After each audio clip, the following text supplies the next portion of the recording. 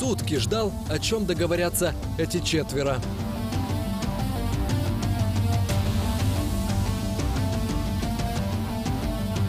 С тех пор нас постоянно убеждают, что достигнутые в Минске соглашения – единственный путь к миру. Наразі ми концентруємось на виконанні того, про що вдалося домовитись. І знову таки, це, на жаль, не фінішна пряма Но что на самом деле несут в себе Минские соглашения для Украины и как они изменят страну, сами участники трактуют по-разному.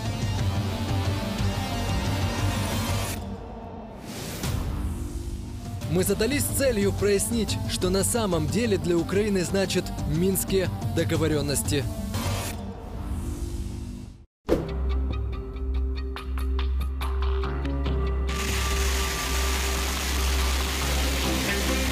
Уже полтора года большинство украинцев живет не полноценной жизнью, а чуть ли не ежедневно утопая в ненужных мыслях о войне и политике.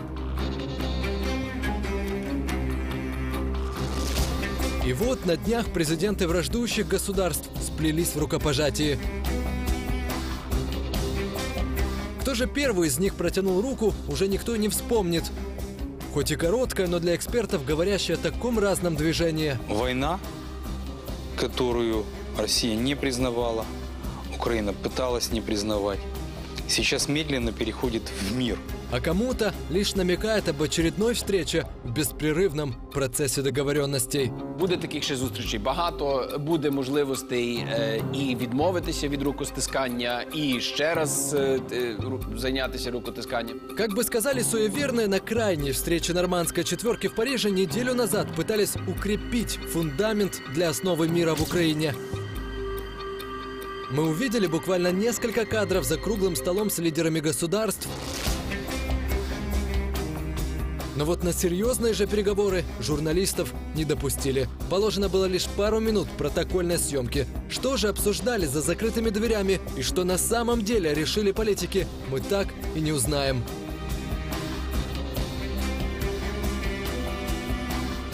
Паризька зустріч, можливо, війде в історію як така, що, по-перше, Європа вперше показала себе нібито нейтральним арбітром. Путин уйдет по-английски. Меркель и Оланд сдержанно прокомментируют результаты встречи. В рамках мінських е, домовленостей ще потрібно зробити дуже багато роботи. А сам Петр Алексеевич из украинского посольства коротко проинформирует СМИ. досягнута спільна позиція про те, що відповідно до мінського мінських домовленостей вибори мають відбуватися виключно по українському законодавству. Е, Критерії виборчого процесу мають відповідати критеріям ОБСЄ. А уже в Украине мы узнаем, как много важного для мира оказывается достигнуто, и этот парижский формат утвердил путь к долгожданному спокойствию. При этом общественность успокаивают, никаких дополнительных договоренностей не было. Ніяких угод в Парижі не підписано. Ми обговорювали в Парижі в нормандському форматі е, терміни і кроки щодо прискорення і посилення імплементації мінських угод. Е, тому ніхто нічого і побачити не може. Але результати є. дедлайни є, Але правильно? результати є надзвичайно переконливі. Впрочем, общество все равно разделилось на две части. Тех, кто за, и тех, кто отказывается верить в то, что Минские соглашения принесли нам мир. Є підстави вважати, що мінські домовленості охоплюють е, коло питань набагато ширше, е, ніж, от, власне кажучи, відведення військ, припинення вогню. Але в якій формі, в чому суть цих домовленостей, е, українську громадськість тримають е, ну, без інформації. За кадром відбулася інша домовленість між е, французами, кажуть, що за участю американців також, а і з росіянами. І фактично Порошенка поставили перед факт, що має відбутися вибори. А, на Донбасі. И эти выборы могут произойти под дулами российских автоматов. для того, чтобы мы достигли последнего этапа, который, на наш взгляд, является основным. А, Речь идет о восстановлении а, территориальной целостности Украины, а, которая заключается в а, восстановлении полного контроля над границами государства и отвода всех иностранных а, вооруженных формирований. Хотя нас до сих пор пытаются убедить в обратном. Нашим абсолютним пріоритетом є погодження перше умов, за яких мають відбутися вибори, а друге а, е, виборчих модальностей, яким чином врахувати особливості таких виборів.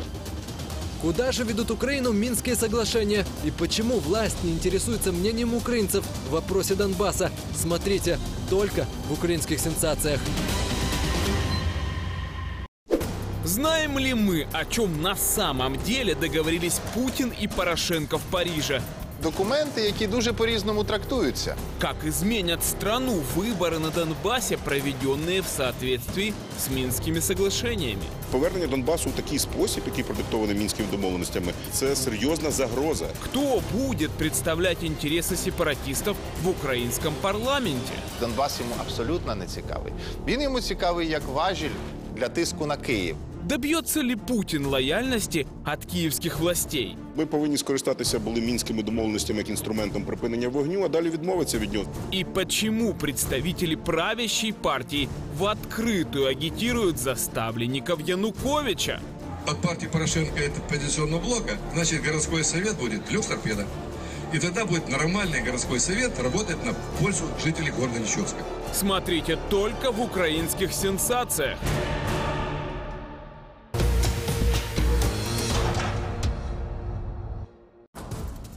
В Украине за стен Банковой всеми возможными методами убеждают украинцев, что мы на верном пути к миру. Минские договоренности, подписанные в феврале, работают. Головний результат, що ми переходимо з режиму припинення вогню до режиму після відведення військ, після підвищення функції ОБСЄ, після е, забезпечення сталого їх режиму до режиму перемир'я. Этот режим перемирия – лишь первые несколько пунктов Минских соглашений. Что таят в себе остальные разделы договора и не существует ли других тайных соглашений между двумя враждующими государствами? Но мы же продолжаем поставлять электричество и воду. И как-то решаем вопросы с углем и ценой на газ. Да? Значит, какие-то такого типа соглашения есть. Их не может не быть. То есть никто так просто все эти вещи э, не выполняет. Тем більше в ситуації війни.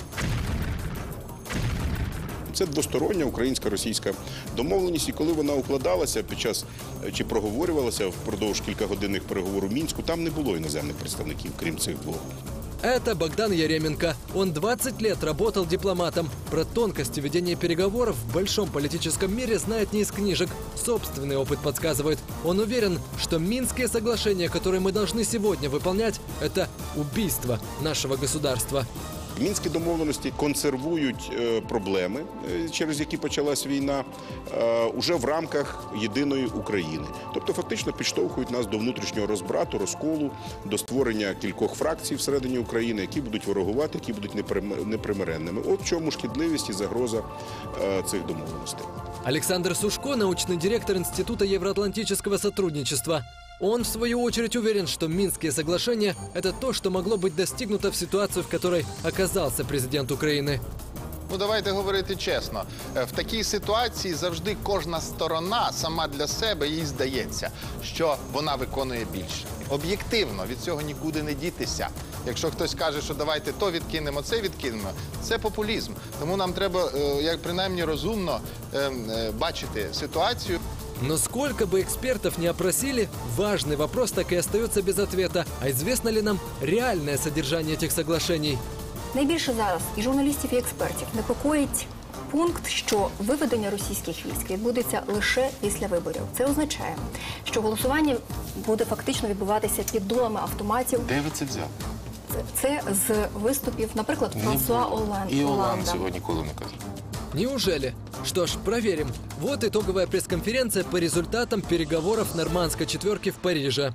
Сначала необходимо прекратить огонь. Это заняло несколько больше времени. Президент Франции Оланд в четкой последовательности отчитывается, что сначала наступает мир на Украине, потом голосование парламента по конституционным реформам, потом заговорит о выборах и лишь потом об этапе, который называют последним в этом перечне того, что происходит наяву. И это как раз пункт касательно отвода иностранных войск. Для того, чтобы мы достигли последнего этапа, который, на наш взгляд, является основным. А, Речь идет о восстановлении а, территориальной целостности Украины, а, которая заключается в восстановлении полного контроля над границами государства и отвода всех иностранных вооруженных формирований. И такое расхождение в заявлениях после совместной пресс-конференции наталкивает на мысль, а может нам что-то все же не договаривают? За кадром відбулася інша домовленість між е, французами, кажуть, що за участю американців також. А і з росіянами, і фактично Порошенка поставили перед факт, що має відбутися вибори на Донбасі. І після цього українська сторона зможе знов взяти контроль над власним е, кордоном між фактично східним ДНР і східним ЛНР і Росією. А це точно не та не та схема, яку на яку Порошенко розраховував. И два дня назад президент Порошенко, отвечая журналистам BBC, говорит то, что вновь-таки идет вразрез словам Аланда. И, как говорят в народе, сами же боевики от рук отбились. Почувствовав запах пороха, войны и свои возможности, похоже, становятся все менее подконтрольны Кремлю, не меняя риторику даже после установления мирных шагов.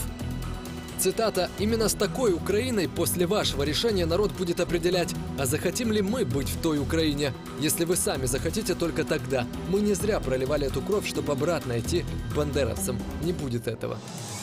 И ни о каком делении территории или статуса для Донбасса, похоже, не хотят слышать. Цитата «Поверьте, те условия Минских соглашений, которые Украина подписала для нас, лучший вариант, не проливая крови, забрать всю нашу территорию и жить». И Если они противятся договорам с Киевом, это значит, что нас ждет замена боевиков на других послушных людей Путина. Да и сами американские партнеры заявили, альтернатива Минским соглашениям – это или заморозка конфликта, или продолжение войны. Цитата «Мы продолжаем считать, что Минские соглашения – это лучший способ возвращения суверенитета Украины на востоке страны». И это не единственный факт, когда написанное на бумаге трактуется так по-разному и Украиной, и европартнерами, и Москвой с ее переспешниками. Впрочем, очередность соблюдения пунктов иногда не совпадает с составленными Минскими соглашениями, да и договаривались ли вообще соблюдать эту очередность. В общем, остается масса вопросов. Документи, які дуже по-різному трактуються, це не секрет. Кожна сторона трактує їх на свій на свою користь. І власне Паризька зустріч вона була потрібна для того, щоб ну принаймні домовитися щодо послідовності подальших кроків. Ми повинні скористатися були мінськими домовленостями як інструментом припинення вогню, а далі відмовитися від нього, знайти інший інструмент, який дозволить нам досягти е, сталого миру і врегулювання на Донбасі. Все требования, которые мы использовали, исполнили, так или иначе выгодны Путину Внутри его новой концепции. То есть первая концепция это была Новороссия, вторая концепция это удерживать источник хаоса на территории Украины. В этом смысле, что бы мы ни подписали, Путину выгодно. На сайте президента Минских соглашений нет. Опираться лишь на Википедию, где они представлены, было бы слишком опрометчиво с нашей стороны. Поэтому мы попросили пресс-службу администрации президента прислать нам или указать на те Минские соглашения, которые бы действительно соответствовали реальности. Почему-то мы так и не получили ответ. Насправді, тобто він на сьогодні, і про це свідчить статистика, підтримка мінських домовленостей серед українців сягає десь там 10-11%. Тобто на сьогодні президент Порошенко не спирається на волю українців, реалізовуючи е, план, який ми знаємо от у вигляді мінських домовленостей. все-таки ми вийшли на кращий рівень, ніж був. Тому що нічия призвела до припинення кровопролиття. Хто виграв? Ще далеко, ну може навіть і матч закінчився, чи матч закінчиться нічийою. Как только мир пришел в Украину, мы вынуждены переходить от первых соглашений к последующим, так до конца не понимая, что происходит. Теперь с Банковой говорят уже по факту, что Донбасс следует возвращать в Украину как есть, не поднимая вопросов о возможном риске так называемой реинтеграции. Реинтеграция так называемых ДНР, ЛНР в состав Украины – это очень длительный процесс. Очень длительный процесс. Не надо думать, что мы его завершим а, там, за год или за два. А, И, кроме всего того, что важнее всего этого, он может и не состояться. Повернення Донбасу на умовах Путіна це загроза. Треба думати про наслідки, з якими ми зіштовхнемося. І відновлення інфраструктури це найменша біда, яка на нас очікує. А що робити з людьми, які е, перебували і перебувають під тиском російської пропаганди, які багато з яких щиро ненавидять Україну, багато з яких воювали проти нас зі зброєю в руках. Що ми будемо робити з цими людьми? Вполне может оказаться это игрой Путина, после которой, уже имея легитимную власть, а, будут произведены голосования за вхождение в состав Российской Федерации. Нужно ли вселять Украину туда, где ее не смогут или не желают видеть в ближайшем будущем в сине-голубых цветах? А главное, как правильно провести реинтеграцию – это вопросы, которые требуют длительного изучения и не решаются наспех, уверен Михаил Винницкий. І справа в тому, чи ми готові для прикладу наступного Різдва прийняти дітей з Донбасу до себе на святу вечерю, на святкування Нового року. Чи ми готові наступні літні канікули послати наших дітей в табори, які будуть відбуватися на Азовському морі? І чи ми будемо приймати тих людей в Карпатах? От це реальна реінтеграція. Может оказаться так, что а, власти двух стран договорились о мир, а общество стран будут продолжать воевать. Вони пропонують модель. Наприклад, таку конституційну модель для України, де їхні керівники, призначені з Москви, будуть право вето мати на рішення Києва. Е, Це абсолютно не ну, це неможливо з точки зору виживання української держави. У экспертов возникают серьезные опасения, что выборы, которые уже назначены на конец февраля в оккупированных районах, станут мостиком для пророссийских политиков, который приведет их прямо в украинский парламент. Но это, похоже, не смущает президента. Он во что бы то ни стало готов провести выборы. Діалог має відбуватися виключно в форматі законообраних представників Донбасу. Бо зараз ці люди не представляють Донбас. Все дуже просто. Вони з'явилися в результаті фейкових виборів. Но почему мы так уверены, что в результате выборов к власти на Донбассе придут другие люди, не такие, как сегодня? На Донбасі немає нічого з того, що потрібно для виборів, окрім виборців, які б хотіли проголосувати за тих, хто зараз з автоматами. Впрочем, нынешняя Украина и не может вызвать у жителей Донбасса симпатию. Здесь реформы буксуют. Это те реформы, которые бы подтвердили в Украине жить лучше. Ми не можемо заздалегідь бути впевнені, що виберуть якусь українську партію. Тоді не треба гратися в ігри, по ем, ем, які у нас є з приводу відновлення територіальної цілісності. Тоді треба чесно визнати, що територіальна цілісність в межах 2013 року нам не потрібна. И эксперты уверяют, в парламенте мы все же с большей вероятностью увидим вчерашних боевиков или симпатиков России, но никак не проукраинских реформаторов. Кремль буде брати своє портфоліо колишніх регіоналів, а відправляти їх на схід і проводити в український парламент. Но если провести грамотную политику реинтеграции, дать понять, куда движется страна, таки возможно получить нужное проукраинское большинство на Востоке, уверен Михаил Винницкий. Ми в Донецьку не дурні. Вони розуміють, що таке ДНР сьогодні.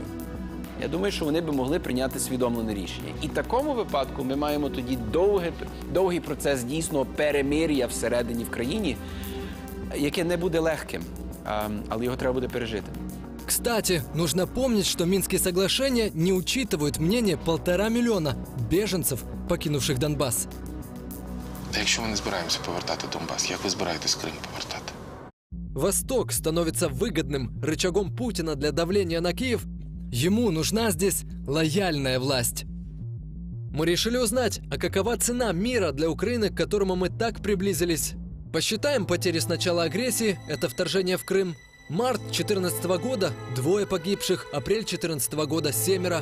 В мае уже идут бои на Донбассе, 69 погибших в районе Славянска, Мариуполя, Волновахи и Карловки.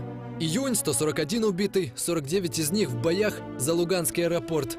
Кровавый июль унес жизни более 300 героев. Рекордное количество в августе – 718 бойцов убито. Осенью показатели пошли на спад. В сентябре 192, В октябре и ноябре по 120. Зима 14-15 годов была трагической. 65, 271 и в феврале 280 погибших. Весной и летом 2015 года ежемесячно погибало от 60 до почти 90 воинов. В сентябре показатель упал до 50. В общей сложности с марта прошлого года и до сегодня 2884 убитых. На этом графике четко выделяются две закономерности. Первое – это огромное количество жертв в котлах, например, Иловайская трагедия август 2014 года, 366 погибших, 158 пропавших без вести, 430 раненых, 128 пленных. И вторая главная закономерность – с момента подписания первых минских договоренностей убили еще больше украинских воинов. Причем Минск-2, это 12 февраля 2015 года, оказался даже кровавее первого. Только за один месяц после подписания соглашения с боевиками те убили почти 300 наших бойцов. Отметим, что это лишь официальная статистика. Добавим сюда еще сотни пропавших без вести и неидентифицированных, а также тысячи раненых и покалеченных. Такова цена затяжного перемирия. Кто будет представлять интересы сепаратистов в українському парламенті? Кремль буде брати своє портфоліо колишніх регіоналів, а відправляти їх на схід і проводити в український парламент. Сколько заплатят украинцы за восстановление Донбасса? Грошей немає. Как мы будем жить в одной стране с теми, кто ненавидит все украинское? У Донецьку не дурні. Вони розуміють, що таке ДНР сьогодні. Я думаю, що вони би могли прийняти свідомлене рішення. И почему власть боится спросить мнение народа о том, что делать с Донбассом? В українському суспільстві навіть у владі нема розуміння. Смотрите только в украинских сенсациях.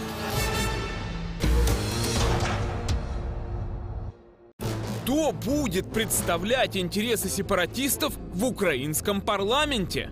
Кремль буде брати своє портфоліо колишніх регіоналів, а відправляти їх на схід і проводити в український парламент. Сколько заплатят украинцы за восстановление Донбасса? Грошей немає. Как мы будем жить в одной стране с теми, кто ненавидит все украинское? У Донецьку не дурні. Вони розуміють, що таке ДНР сьогодні. Я думаю, що вони би могли прийняти свідомлене рішення. И почему власть боится спросить мнение народа о том, что делать с Донбассом? В українському суспільстві навіть у владі нема розуміння. Смотрите только в украинских сенсациях. Сдался ли Путин в украинском конфликте? Путін втомився від санкцій. Минские соглашения, план мира или троянский конь от России? Этот переходной период понятно, что еще не является миром.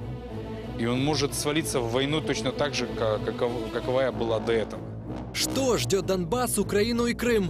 Безперечно, е, повернення Донбасу в той спосіб, який передбачений мінськими домовленостями, це спосіб закріплення залежності від Росії. Какую судьбу предписали на парижской встрече Донбассу, мы пока не знаем. Становится понятно, что посредством оккупированных территорий нашу страну втягивают в мировую политическую игру.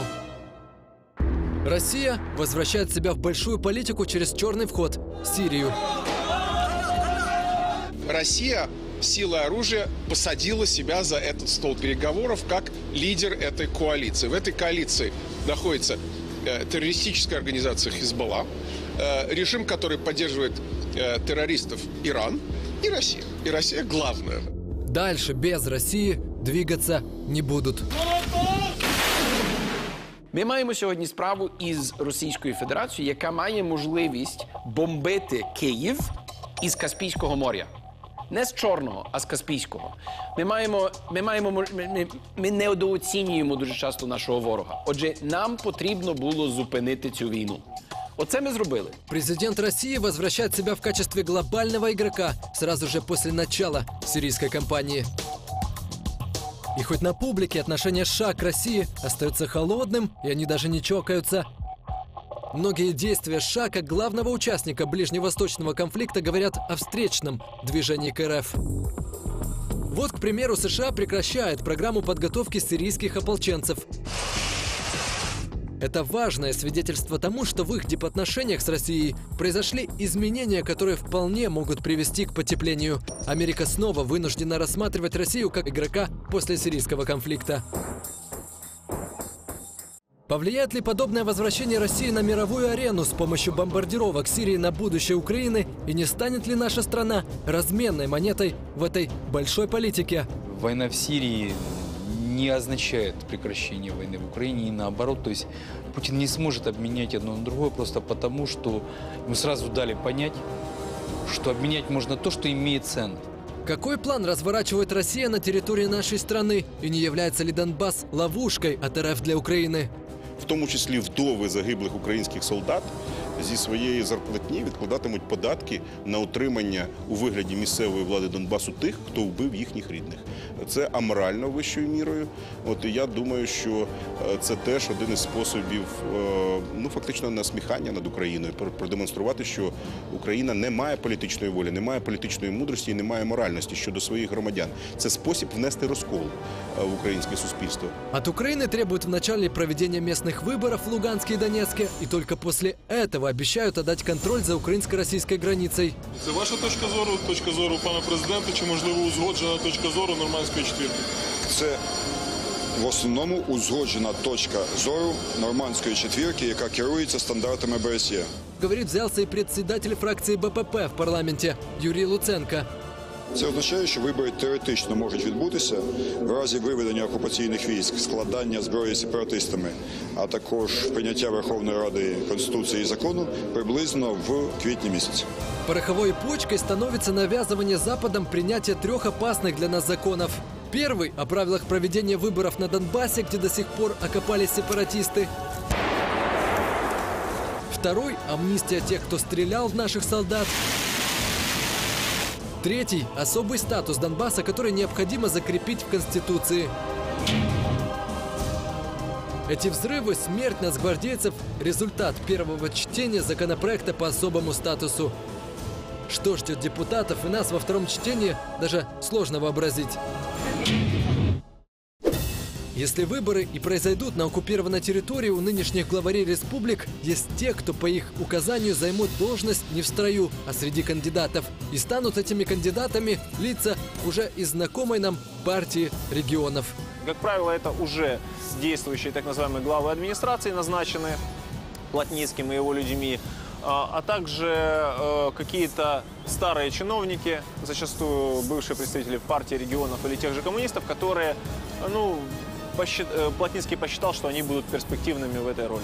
Не надейтесь, в ДНР смогут победить лишь люди Захарченко. политического плюрализма и свободы мнений на территориях ДНР и ЛНР э, ждать бесполезно. На данный момент ситуация там такова, что есть одна генеральная линия, как была в Советском Союзе, и в рамках этой линии нет политической конкуренции. Неужели мы тешим себя иллюзиями, что Путин вдруг захотел отдать то, что так долго держал под своим вооруженным контролем – Донбасс? Эксперты уверяют, что в вопросе статуса Донбасса следует быть осторожней, а может и вовсе отказаться от подобного пути его возвращения. Йому ж не треба насправді відвоювати е, шматок української території на сході, щоб ним володіти. Їм, йому вона не, не цікава. Йому Крим був цікавий, да, Севастополь був символічно цікавий, Донбас йому абсолютно не цікавий. Він йому цікавий як важіль для тиску на Київ.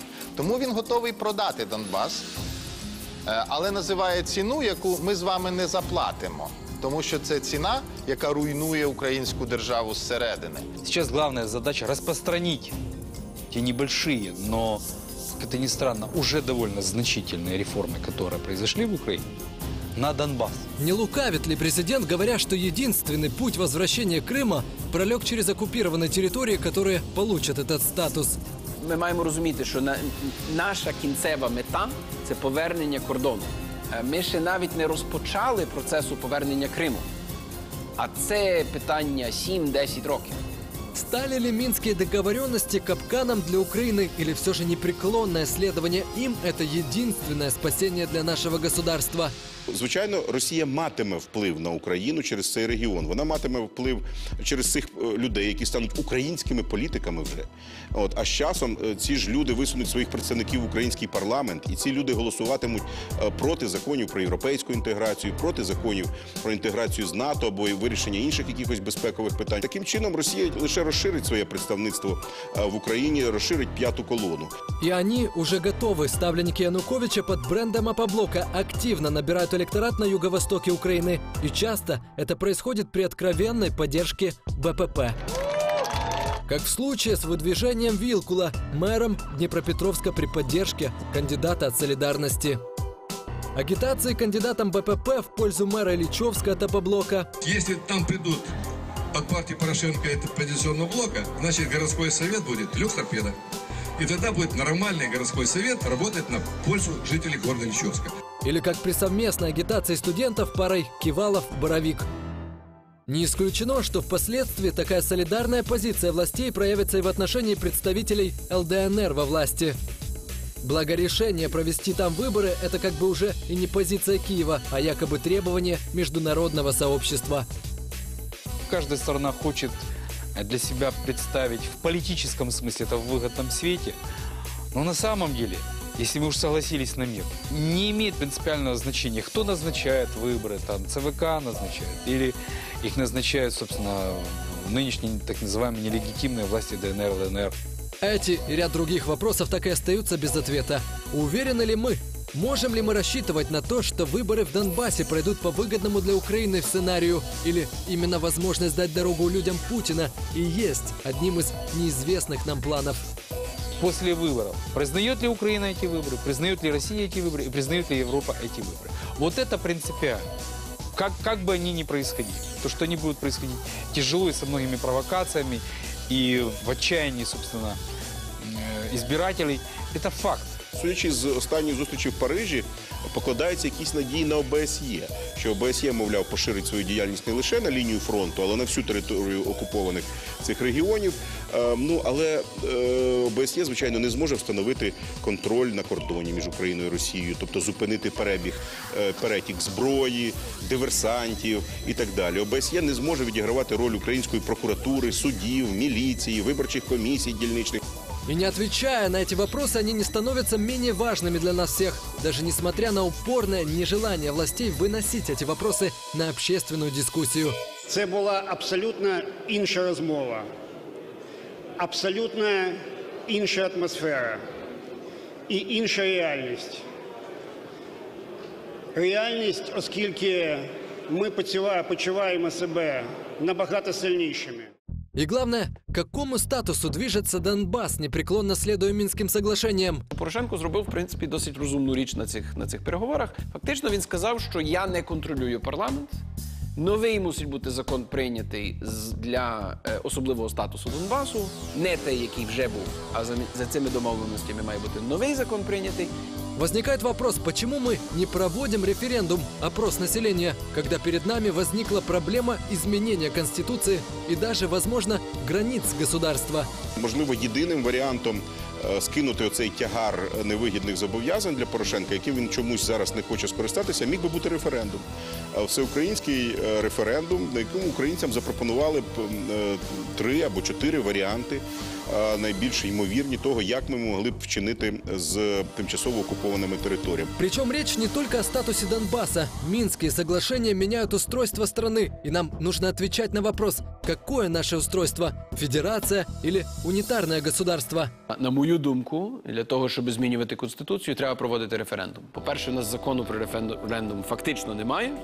По-друге, на жаль, на жаль, на превеликий жаль, наші політичні еліти не готові до того, щоб управляти країною через референдум. А вони себе бачать з моєго досвіду, вони себе бачать в першу чергу як е, управлінці радше ніж як представники. И нужно ли нам менять границы страны? Очевидно, що зміни кордонів України можливі тільки через загальнонаціональний референдум. Це записано в Конституції, ніхто цього не буде міняти. Ну е, я не думаю, що зараз є той час, коли треба ставити це питання. Без контроля над границей территории, которые станут законными после будущих выборов Донецкой и Луганской области, будут тянуть Украину в финансовую и духовную пропасть. Это нужно учитывать уже сегодня. Гарант обязан говорить с народом, который его выбрал. Украинцы наверняка хотят знать, на что их толкают. А пока получается, что мы возвращаемся в ту историческую точку, с которой начиналось независимое будущее Украины, где в каждом кабинете было место для чиновников, симпатизирующим России, к той Украине, которая опять зависит от стран-агрессора, к той Украине, где спросить о том, что думает народ, забывают.